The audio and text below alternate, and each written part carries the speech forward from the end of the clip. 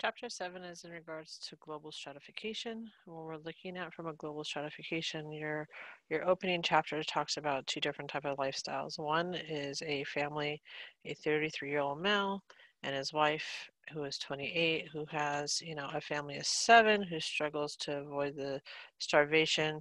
Um, actually, they have seven children, so they're a total family of nine. They live in this 320 square foot, you know, um, basically plaster huts with no electricity, gas, water, all that aspects. Kind of the scenario I just gave you is the picture that you guys are seeing as of right now. Um, when you're looking at this, and we kind of take for granted in regards to what we have. So we're looking at stratification wise, in regards to the caste, the state, the class systems, the the including like the bond labor and all that aspects, we can kind of see that us as US type aspects kind of take things a little for granted. You know, the other half of the opening vignette um, talked about a family that was in Illinois um, in regards to a husband and wife and their two kids who live in a four bedroom, two and a half bath, you know, tw- almost 2,700 square feet, you know, have running water, electricity, all the materialistic things, cars, this, that, and the other. Um, you know, you can kind of see how it's really different in regards to when we're looking at it from a global stratification aspects in regards to um, why we have these layering of groups and people within the nation, right? Um, when we have those layers of um, groups of people within those nations it's called social stratification. So it's basically basically underneath the social stratification is a division of large number of people into layers according to their relative property power and prestige. Okay? When we're talking about that it's it's just the, the number of aspects. When we're looking at it from a global aspects you know we are not ones that have to carry you know um, the wheat or any type of food or anything like that on our heads water that aspects. We don't have to go fetch our food. Our food we go just fetch it from a grocery store. A little different of an atmosphere in regards to how we we look at their you know different levels of that property power and prestige type aspects when we're looking at the aspects of from slavery, um, when we're looking at from a caste system, a state system, a class system, all of these things have some type of a dynamic that kind of goes behind it. Um, when we're looking at from slavery, what were the causes of slavery? You know, it goes back to the time of, uh, you know, foundation of uh, the, you know, basically U.S. soils type aspects. You know, slavery was a condition. Um, there was, you know, some causes that caused slavery. Uh, back in the early 1700s, 1800s, slavery wasn't as strict and, and underneath a lot of rules that it happened in about the mid to 1900s, uh, 18, mid 1800s to 1900s. The conditions of slavery took on the bad aspects, whereas, you know, the word slavery in the early 17, 1800s the word slavery wasn't a really bad thing because they still had the equal rights. They were able to own land. They were still able to do natural things like marrying and all that aspects. There wasn't the segregation that it wasn't in the the later 1800s until the 19 you know 1960s um, until the segregation of the Jim Crow law kind of went away. Um, but at the same time, when you're looking at those types of conditions, you know, does slavery still exist today? Yes. When you're looking at from a global aspects, it is still a condition that still does exist. You've got human trafficking um, in some other parts of the other country. You know, um, slavery is still kind of considered, a highly run thing, um, but it is, you know, an aspects in regards to it. But in some cases, when we were talking about slavery, it's one of those aspects that it wasn't always a permanent thing. In some instances, slavery was temporary. It wasn't permanent. Um, they was sometimes it might have been just for paying off a certain debt, and they were able to kind of go back and do what they were able to do. Um, if they were, you know, transferred of ownership type aspects, I mean, we're talking about people, we shouldn't be talking about them like their property um, or some type of object. But at the same time, those were the types of conditions. They were transferred, they were moved. So, but in some instances, slavery was temporary. It was not permanent all the time. When we're looking at the bonded of labor type aspects in the world, bonded of labor is just the, the contractual system in which someone sells his or her body. You know, some people had that opportunity to do that themselves. They chose to do it. They could choose to do it. Sometimes it's not. Sometimes it's the um, the aspects of people wanting to start a new life. So therefore, they kind of sell themselves to kind of say, you know what, if I become part of your you know system or you know that type of ideology aspects then you know they they kind of do it themselves. So that's that bonded labor. When we're looking at slavery in the new world you know it's inheritable some aspects um, babies born um, to slavery become the property of the slave owners. This was about in 1956 before the like i said the segregation law or before the civil war type aspects of laws kind of came into place um, but like I said, slavery today it still exists in some aspects, some way. Um, you know, basically in like the Ivory Coast, Nigeria, um, long um, history of slavery that's in those areas until like the 1980s when slavery was illegal. Um, but then, like I said, it, it still it takes sometimes a little bit longer for certain areas to pick up. Nigeria's slavery stopped in 2003. Um, where it still continues though um, ISIS also practices slavery as well, which is after killing an adult man, you know, infidels, you know, that type of aspects, you know, human trafficking, uh, prisoner reports, stuff like that. The, it, those are slaveries in today's terms. It, it's like I said, it's something that still exists. It's just not known as the same as it had in the history of the past times. Um, but when we're looking at the um, early times, this is a um, basically a advertisement propaganda more or less in regards to they try to make it look like a more of a bystanders but this was in the the 1800s like i said i would probably say about mid 1800s it was a poster from missouri um, it, supposedly it went to a horse but no it was talking about if you read in here very very closely it says right here age five years old they're talking about a five year old little girl um, and they're trying to bypass it as a horse, you know, as a raffle type aspects. Um, so that was kind of like the slavery ideal back then. It was considered as like a big prize, you know, um, more or less of an object and not as a human being. When we're looking at the caste system, India's religious caste system is very in, uh, secure. It's in place. It has its points. Um, when you're looking at it, this is the caste system for India. Um, if you were in, you know, the Dalit caste system, this is the outcasters, the um, degrading or polluting the labor type aspects, you are to remain in this system. You are not to leave outside of this class system, more or less, right? You are, you can't go and um, basically marry somebody that's in a higher elevation of in this um, you are expected to stay in this caste system. You don't, um, you, you might cross paths with one of them, but at that, you know, um, in India's caste system, they, they made things very segregated, very separate to where certain times of the days they're not allowed to integrate with one another. So this is kind of like part of everyday lifestyle aspects. Um, one of the pictures I showed you in the beginning of the women holding the um, grain and water on top of their head, that's actually from India. So that kind of gives you a little bit of an idea in regards to kind of what they're expected. Um, in South Africa, same thing. They have a um, um, um, which is a government approved and enforced separation of racial ethnicity groups as part in South Africa. They kind of have this caste system where they're um, European whites, they're African blacks, they're colors, which is their mixed race and Asians, they, they separate them by these groups and the classifications determine where people would live, work, go to school. You know, those are considered caste systems. And when we're looking at racial caste systems in the US, we kind of have these categories as well. You know, we we believe in the subject of a class system, of a racial class system. Um, from the moment of birth, race marked kind of everybody's lifestyles. All whites, even though they were poor, you know, uneducated, they're still consider themselves as a higher status as anybody else. Um, but it's kind of one of those situations. It's kind of how history kind of has kind of led the fact in regards to how class systems or state systems are supposed to to be caste systems. Um, after centuries of silence, women of India are daring to protest rape publicly. Um, this is a photo of students holding the candlelight march uh, was taken in India. But if you notice, if you look at this picture closely, you could kind of count on two hands on how many women are in this picture.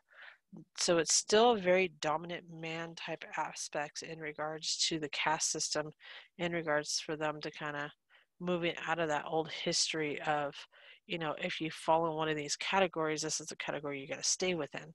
Um, so when, if you look at this, like I said, this caste system, it was taken in March. Um, I think it was in 2000, I want to say maybe 17, 2015. Um, but at the same time, it's one of those situations to where they're starting to break their old habits. Um, they're starting to break those traditional aspects that used to be in place for a long, long length of time. When we're looking at the estate aspects, you kind of have to look at the estate stratification as a medieval European type aspects. There's three groups that go with this medieval time, you know, um, con- consisting of basically three groups. Let me rephrase that. Um, you have the nobility, you have the clergy and you have commoners, right? When you're looking at the nobility, this is considered the first class. These are your first elites, um, which are the wealthy families who rule the countries. Um, they own the land, which was a source of the wealth. At the time, the, the nobility did no farming themselves or any work. The you know you kind of look at them as like the leaders, the kings and queens type aspects. Those are the nobilities. Well, the second estate, which is the clergy, these are the Roman Catholic Church, was a political power at the time. They own vast amounts of land and collect taxes from everyone who live within those boundaries and parish. Um, the church powers, uh, which had the great order, basically boundary boundaries of those parish. They they were the ones that kind of ordered the who was crowned as king and queen and the obligations that kind of went with those permissions as well. And you have your third estate, which is considered a commoners, which are also known as serfs. Uh, they belong to the land. Um, so if someone bought or inherited the land, the serfs came with it. Um, so basically, the workers of them. And then when you're born into that third estate, they they died within it as well. They weren't able to move around within it. Uh, you know, when you're looking at the women within the estates, the women belong to the estates of their husbands. So women in the first our first estate had no occupation because in the case of her husband, physical work wasn't considered, you know, beneath their dignity type aspects. If you were a clergy of a of a man that was part of the clergy, then you were expected to kind of you know rule along with your husband in regards to that aspects, and same with the commoners. If you you know were born you know, obviously you wed within the commoners, therefore you remain with the commoners, and there's just kind of one of those things to where it was that aspects. When you're looking at the clergy, they never, they did not marry. That that rule still applied back during that time as well. But you know, when you had women in that estate aspects, you know, they may have never married, but you still have women who were nuns during that time. So that's kind of the aspects that the the women took underneath the clergy aspects. So when you're looking at this estate stratification, of the medieval time know all three of them um, in regards to it. So you need to know the nobility, the clergy, and the commoners. Know that they, those are all part of the estate stratification of the medieval European timeframes. When you're looking at class, it's a little bit more open on the United States side, right? we have the possibility of social mobility. We have the option. We have the option ourselves to kind of move up and down, right? We have a class system. It's a form of social stratification based primarily on income, education, and occupational prestige. It's all it basically is. I mean, if you have income, if you have education, and you have your occupational prestige, we can move up and down the mobility of the ladder. We could move up, down um, the social class ladder. That's not an issue. That's not a problem when we're looking at the early industrialization, children work alongside of adults.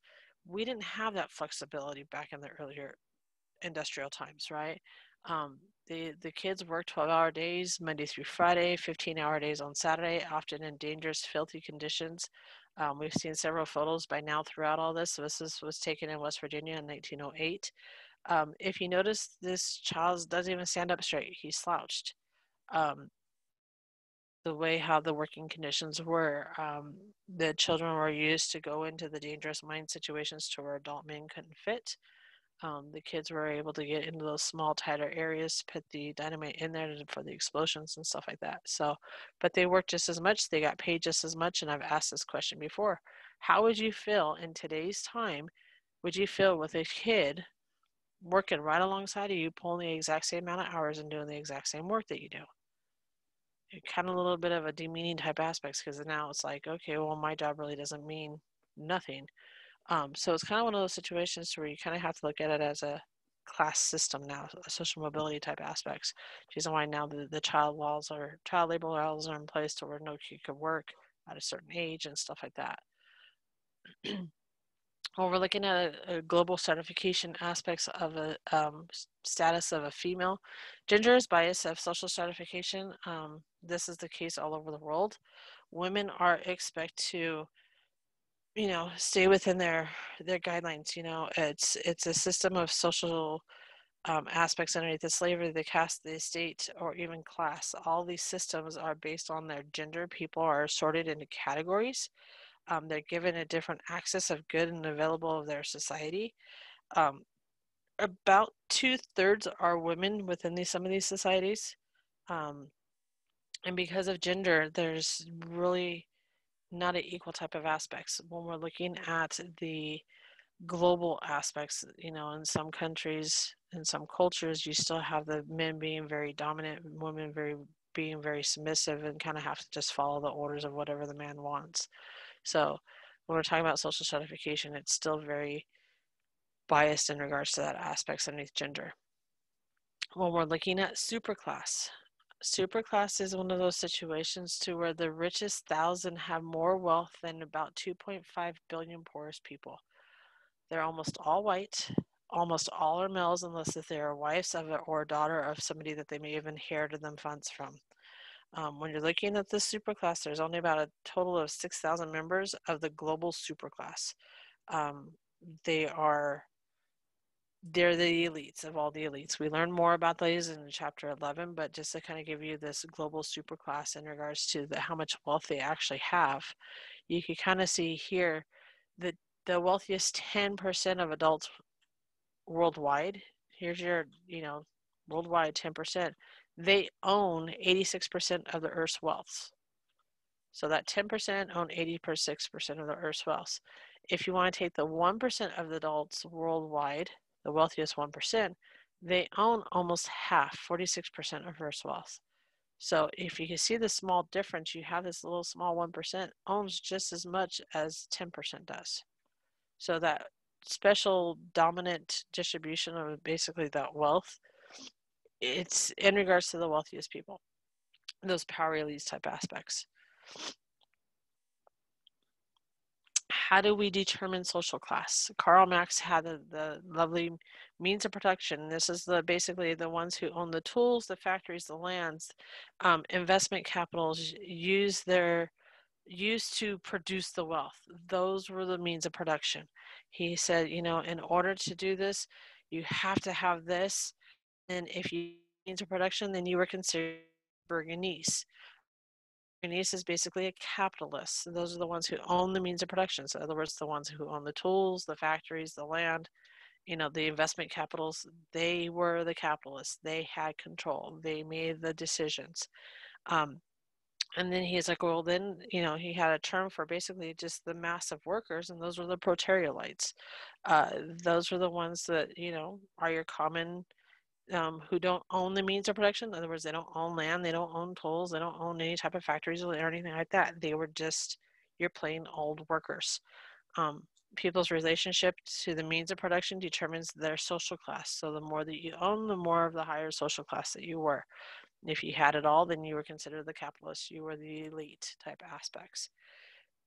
He also came up with a term called class consciousness. He used this class consciousness to refer to the awareness of a common identity based on one's position and means of production, um, which is the shared identity based on the relationship. Um, in other words, it was one of those not perceived themselves as exploited workers who's, you know, had the chance of kind of moving around. Um, he said, you know, the the the proterialites that kind of had this intervention called the saw the future of the of the forecast of like you know what eventually I'll own that land and that type of aspects. He called it as basically like a class consciousness, like people kind of knew where they belonged. Um, some people had this false class consciousness, which is a term that refers to workers' identity with the interests of a capitalist. So those workers that had this, uh, you know, back the the workers that had this identity of like oh i'm going to become a capitalist i'm going to work they said that they had the false consciousness. But the class consciousness was basically the identity based on one's position in the means of production. That was uh, marx's used term that just referred to the awareness of the common identity. When you're looking at weber's perspective weber said okay that's cool but you know we kind of need a combination here. We need a combination of property and power, or we need a combination of property and prestige um, in order to say that you have this prestige type aspects, or you have this wealth, or you have this, you know, upper class type aspects. So, in order to do it, they said, well, you kind of have to have two to kind of give you one. So, if you have property and power, or excuse me, property and prestige, then you have power um, or if you have power, you have property and prestige, vice versa. If you have property, then you have power and prestige. If you have prestige, then you have property and power. You have to kind of combine these in order to, what Weber said, in order to lead to other components of social classes. Um, he said you couldn't have just one. You kind of had to have both um, to kind of make sure that you had that wealthy and powerful, that prestigeness, that type of aspects in regards to saying you had that social class status. they also um, looked at why you know social stratification is universal. Why do we why do we think it's universal? So from a functionalist point of view they had motivating qualified people. Um, they looked at it from uh, davis and moore explanations they looked at it as said, okay, there's two functionalists, basically Davis and Moore. They wanted to wrestle with this question, and they kind of concluded that stratification of uh, society is it's going to happen regardless. Um, one for society to function, its positions must be filled. In other words, there has to be a purpose for somebody, right? Um, if somebody's position um, isn't filled, you got to fill it. Um, some positions are more important than others. That was the other one they kind of came up with. The third one was is that more important positions must be filled by more qualified people. And the motive for the, the qualified people to fill these positions must have greater rewards. In other words, you got to be paid more. There's got to be something more there. They're saying from a functionalist, this was the motivating for the qualified people to basically say they were that prestige type aspects, or they had power, or they had that property kind of go along with it. But at the same time, you had Tumin that kind of critiqued it and said, well, wait a minute, what about the meritocracy that kind of happens in there?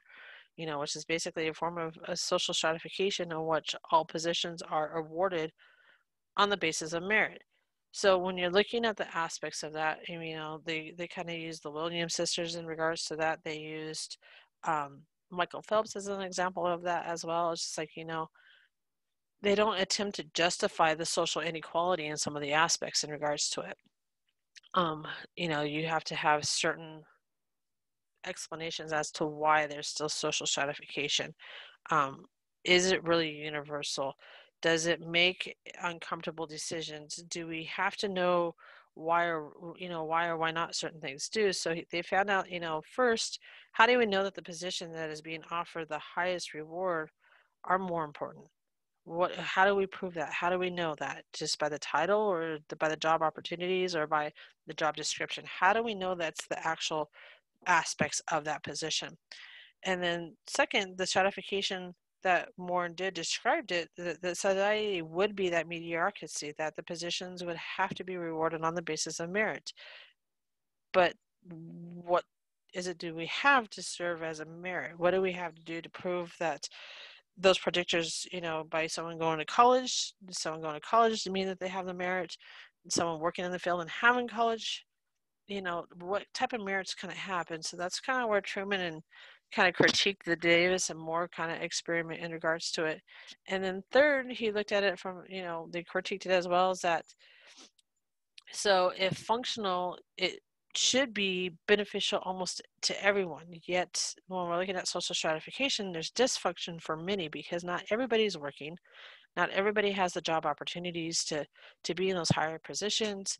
Um, just because, you know, uh, someone's born in the slums doesn't mean they remain in the slums. They always have to you know the opportunity to build and move around and get the education and to you know move up that social class ladder so or there might be some mental disabilities or there might be some physical disabilities all of that wasn't taken in consideration when they looked at the function for society purposes in regards to for stratification purposes.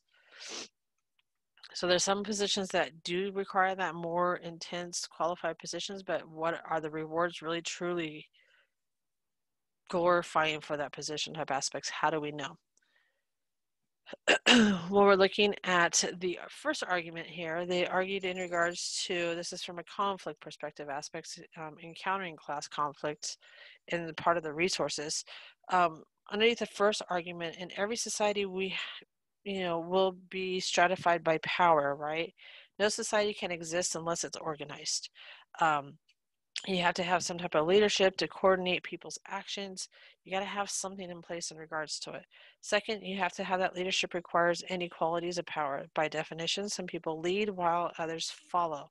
Lastly, human nature is self centered. People in power will use their position to basically seize greater rewards for themselves first before they make sure anybody else gets those rewards. So it's kind of how the conflict aspects looked at it. Said, okay, well, I understand there's a function, but on the opposite side of things, this is just nature. People are just going to do this just because that's the way how it's supposed to be. When Marx's argument to that was, is that if we were alive to hear the functionalist argument, Marx would, you know, basically be enraged in regards to the, the point of views that they kind of looked at and the power and that all that aspects. Um, Marx predicted that all the workers would kind of have this ideology that blinds them but one day you know class consciousness will kind of rip the blindfold off and kind of expose the truth. You know we all have this you know we have to start at the bottom work our way up. Well in order to do that we have to have goals and plans. So that's kind of how marx's uh, argument in regards to class consciousness kind of came around like you know we, we're not always stuck in the the situation we're in. We're able to move off move up and down in regards to the way how we need to So, from a functionalist, they mm. believe that the stratification exists because it's the function for society, functional for society. From a conflict theorist, they stress that conflict, not function, is the reason why we have social stratification. Kind of sum that up for you a little bit. so, kind of going back and forth in regards to. So, once again, I'll repeat it again. Functionalists believe that stratification exists because of it is functional for society. And then when we're looking at conflict theorists, conflict theorists stress that conflict, not function, is the reason why we have social stratification. But when we're looking at how do we least maintain stratification, you know, but at the same time, when we're looking at function and conflict, I'll go back before I talk about this. When we're talking about function and conflict, um, Lenski had a synthesis in regards to it, saying, hey, well, you know what, hold on if you see functionalists and conflict theories disagree sharply with one another, he suggests the surplus key, right? He basically said, you know, this is a th- synthesis the views of the functionalists and conflicts.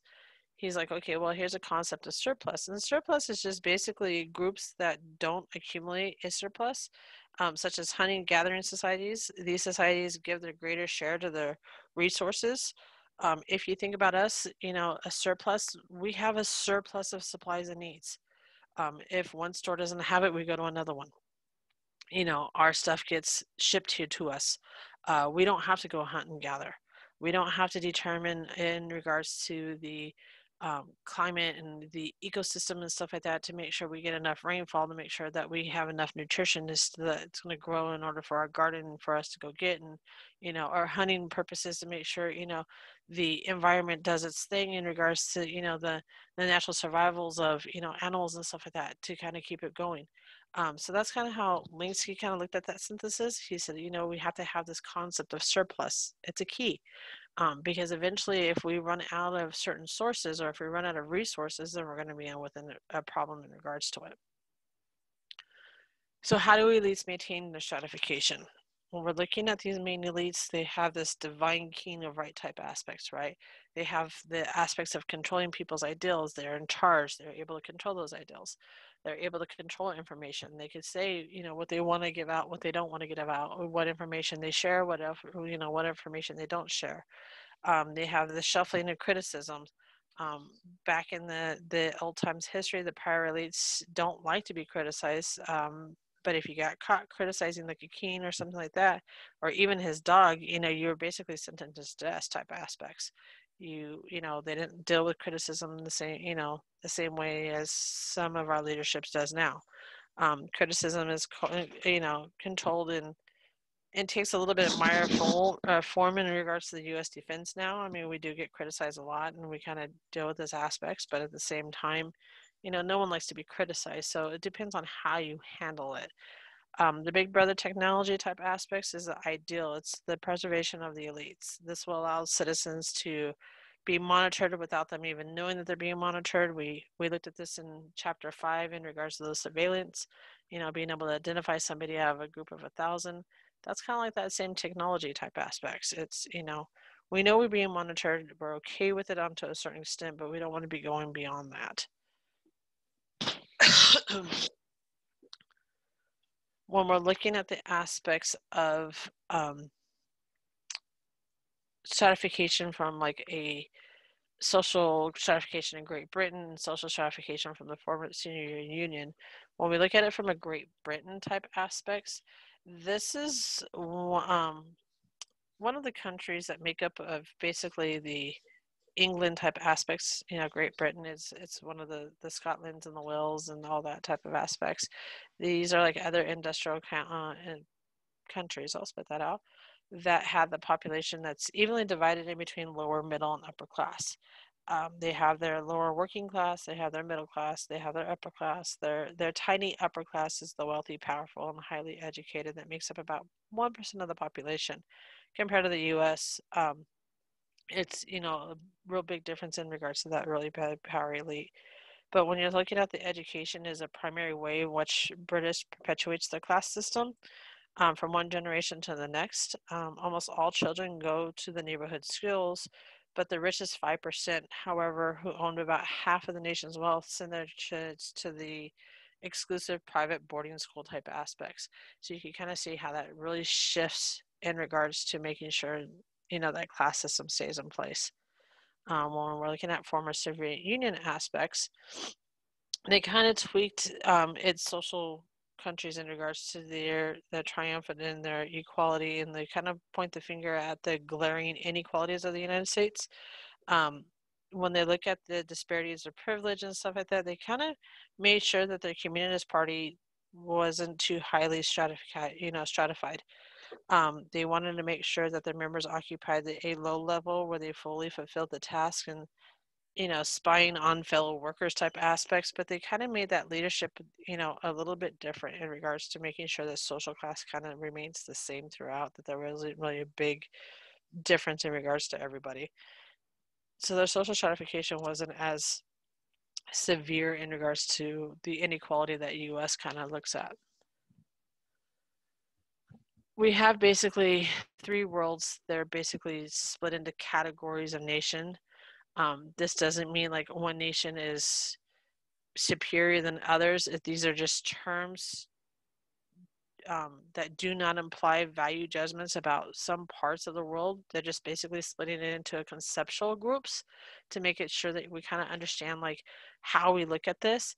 So when we're looking at the most industrial nation, these are like US, Canada, North America type aspects, Great Britain, France, Germany, Switzerland.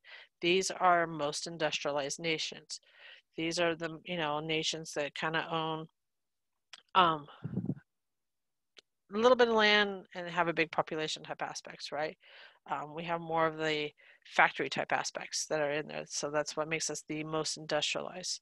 When we're looking at like industrial nations, these are nations that include most of the nations like from uh, former Soviet Union, um, the satellites in Eastern Europe type aspects, these are the nations that account for about 20% of the Earth's land and about 16% of the people's population. So, uh, you know, the aspects of dividing it, this is kind of like the middle grounds. It's like they have some categories of uh, factory type aspects, but they're not fully as like a most industrialized and they're not as a least industrialized category aspects. When we're looking at least industrialized aspects, these are the ones that has the most land and the most population wise. Um, these are like small farms that or the little villagers within certain nations, right? Uh, large families, barely survival, barely any means to kind of keep things going. They depend on the land for their survival type aspects. Um, and then we have a modifying model in regards to which are those those are the oil's rich nations type aspects. So when you're looking at most industrialized, and know these three as being the kind of the three worlds global, but like I said, they're not to imply value judgments as some part of the worlds while splitting it into conceptual groups. These are just kind of breaking up into groups that makes it more sense. Know them as most industrialized, industrializing, and least industrializing. But when you're looking at this, you can see the most industrialized, yes, we have land and we have a high population at the same time. When you're looking at an industrial nation, they have a little bit less land and a lot of population, but they're still, like I said, they still function on a, on a aspects that there's some factories there that just not as industrialized as like the U.S. is.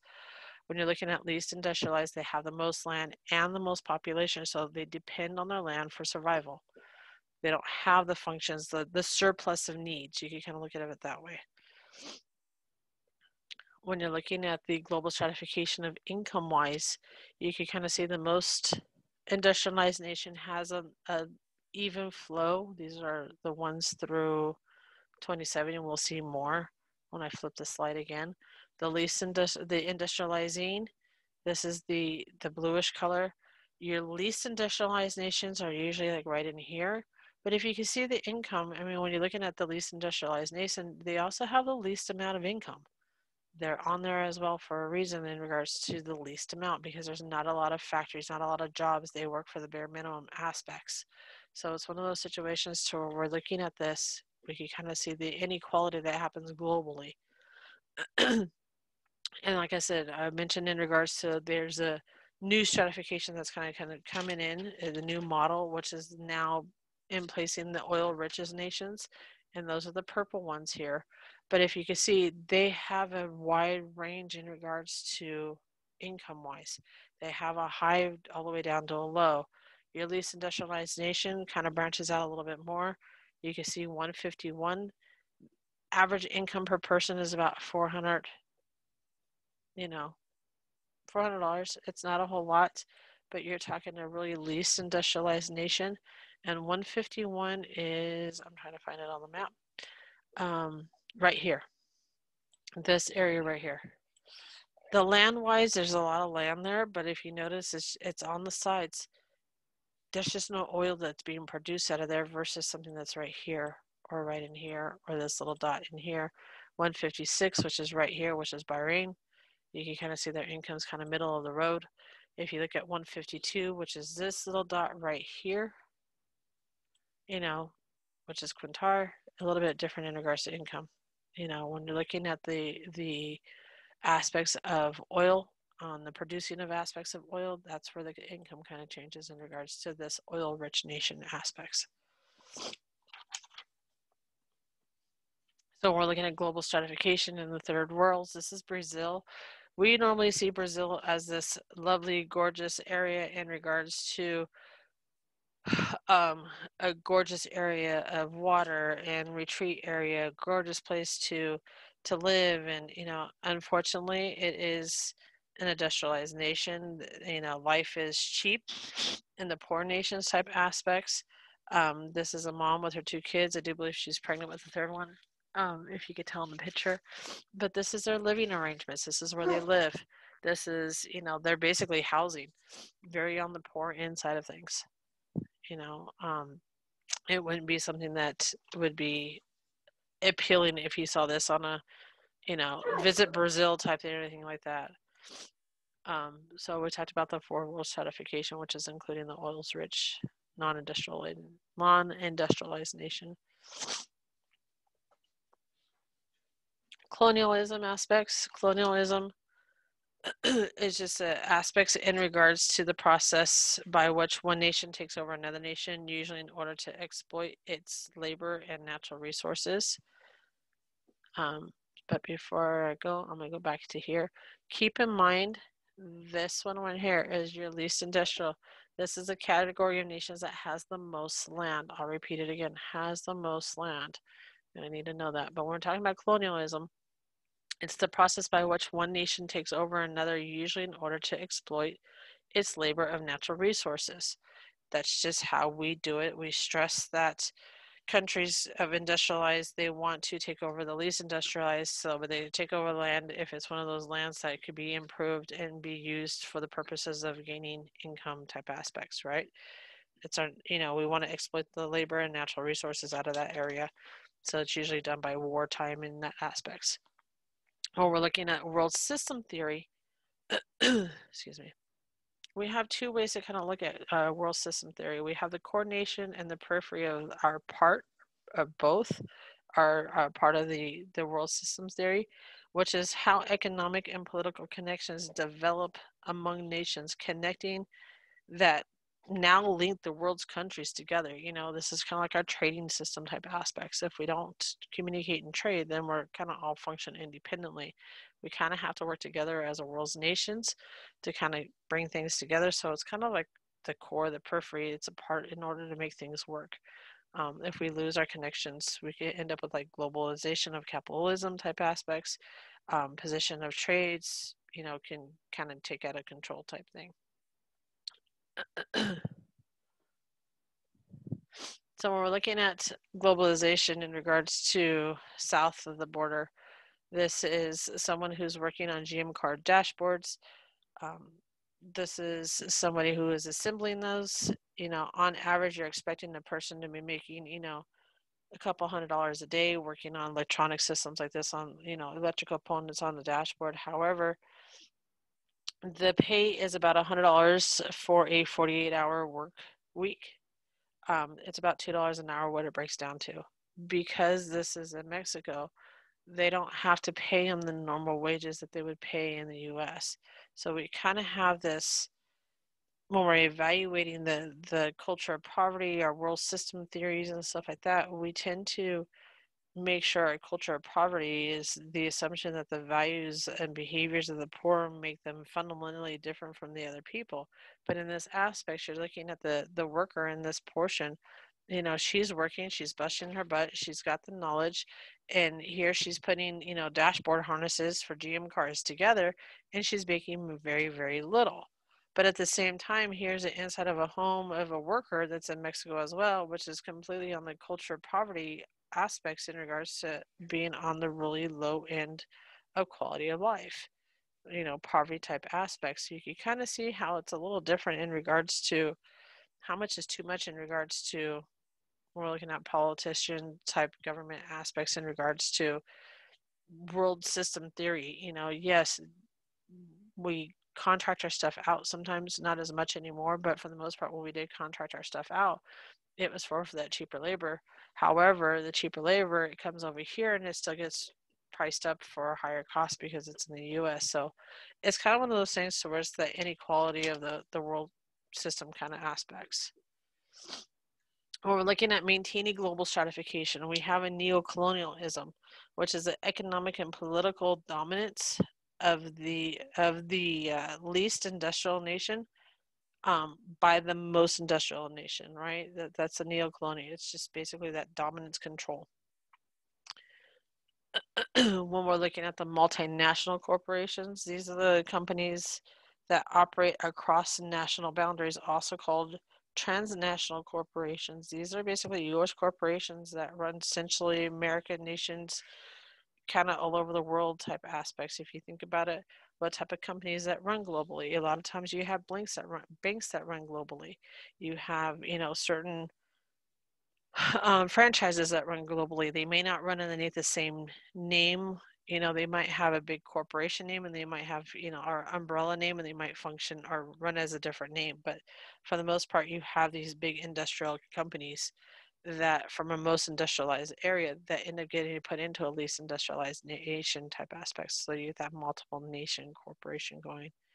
Um, technology and global dynamics, you know, when we're looking at the race between the most and the least, obviously the most industrialized nation has this basically huge gap on a least industrialized nation. Um, it's sky's the limit. Whereas if you look underneath the least industrialized nation, a lot of those areas do not have like running water, electricity, just like in the beginning.